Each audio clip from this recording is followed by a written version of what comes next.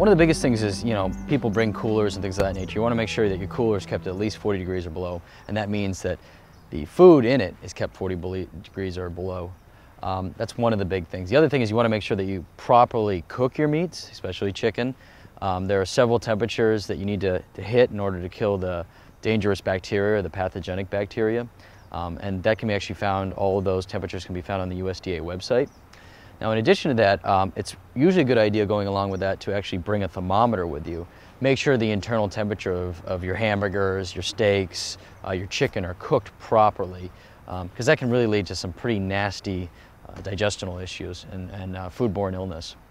If it's 90 degrees or hotter, usually around 45 minutes is the longest you want to let food sit out, and that's the extreme.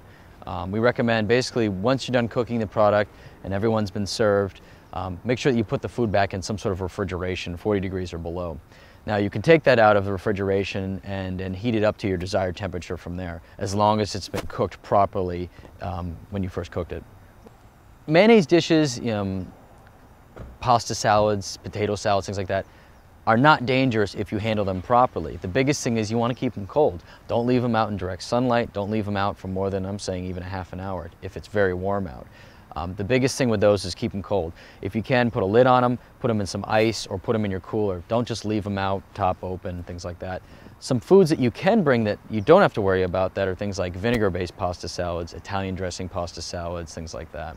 You want to designate, um, I know it's not the, most, the best for the environment, but being, bringing paper plates that you can dispose of, that's a lot better than bringing um, you know, ceramic and stuff like that. You might get things confused on. So yeah, disposable is better in this case. And you want to make sure that you don't reuse utensils that you used on raw products on cooked products. Using ice that's in a sealed bag is okay as long as it's not dripping everywhere because that uh, water can actually contaminate other foods with, with um, meats and stuff like that. Uh, so what we recommend is just putting or going out and investing in some cold packs that you can reuse over and over again. You freeze those the night before, you put them in your food, or your cooler I should say.